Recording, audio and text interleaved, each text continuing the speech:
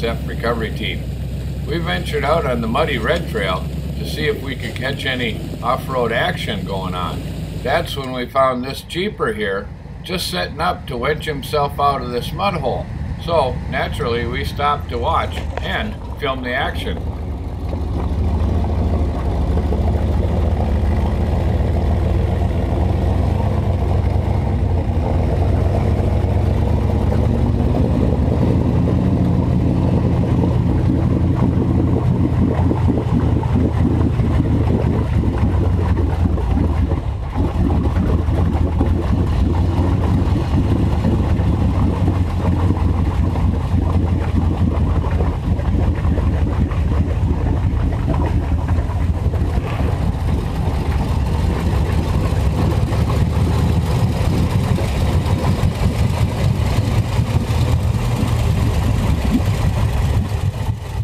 When he got to the steep edge of the mud hole, his own winch started to stall out.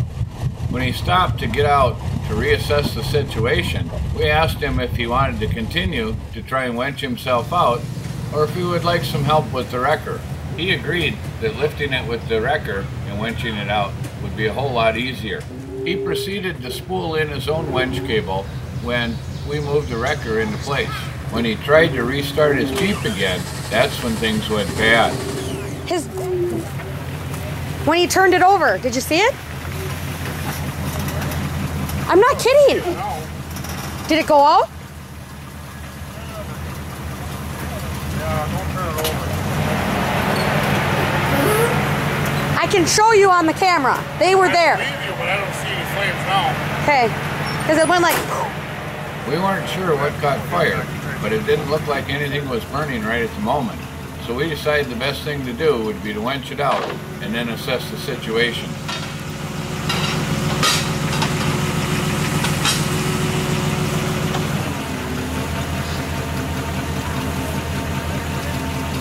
I don't see one right now.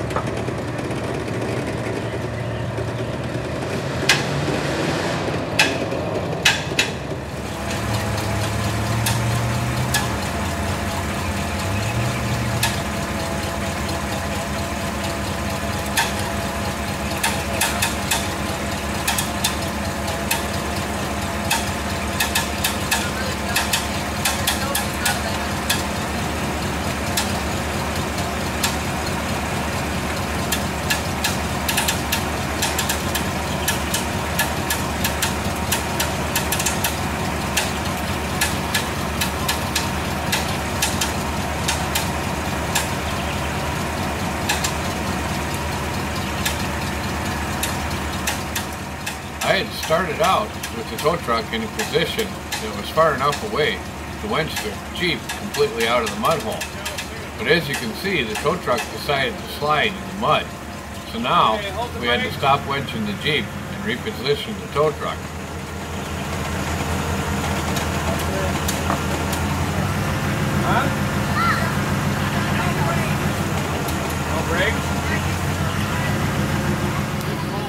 We also found out that with all the mud and water packed into the Jeep's brakes, they didn't want to work very well either.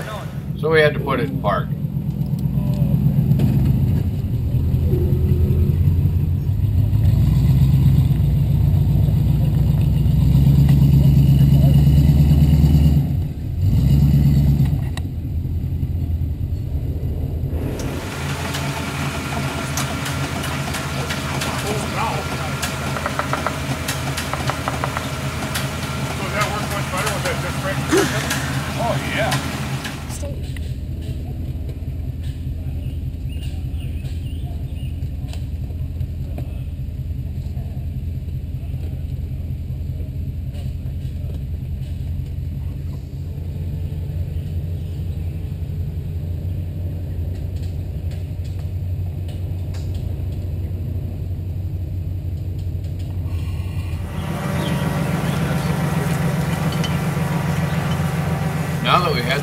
Wrenched out of the mud, it was time to address the burning issue as to what caught fire.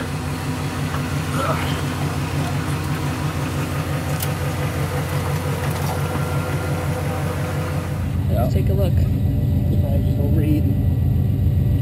It's looking a little crispy in there. For the winch? Yeah. But that isn't the same ones it starts off of, is it? No, it's not. Okay. The only thing that we could find were some melted wires, namely the battery cables that ran the winch. This is your negative here. and your power. Yeah, no, I'm just making sure everything's, Right. Right. you know, don't want to get too carried away here. No more winch. No more winch for the day. Yeah. Is this your first time coming to Dresser? Yeah. It's the first time with this Jeep though. Well, that kind of looks like the only thing that's fried, so let's see if it starts on fire. I felt my feet thinking as I was taking a step of one. It's okay. She called me yesterday. I'm so wrong. Nothing moving. Yeah. Not a face planted it.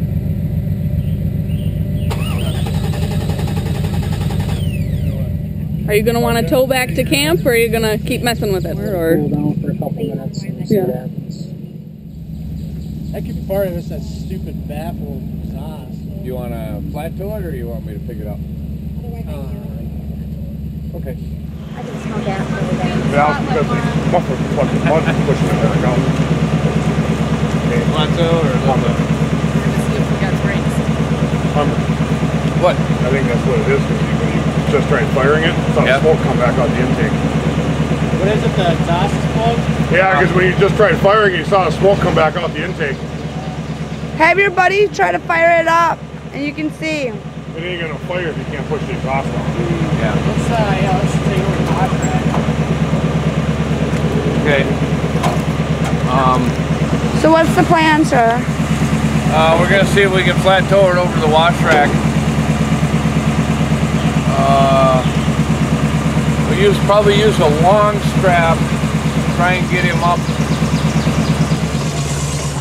Our plan was to get the Jeep up to dry ground and loop around to the left and go out the way we came in.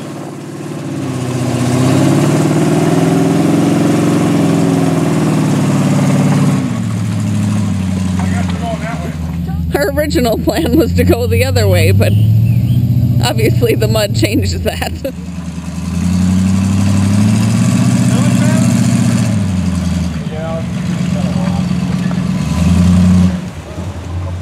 wasn't quite the direction we wanted to go. Well, we can get out this way too. Honey, don't! You're gonna drop the tow truck!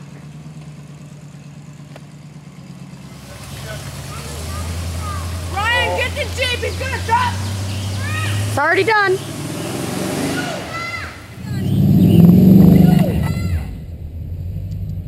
Or, at least I thought we could get out this way. We might have gotten ourselves into a little trouble here. But you'll have to wait till next week to find out what happens. Keep wheeling, stay safe, don't forget to subscribe, and maybe we'll see you out there in the woods.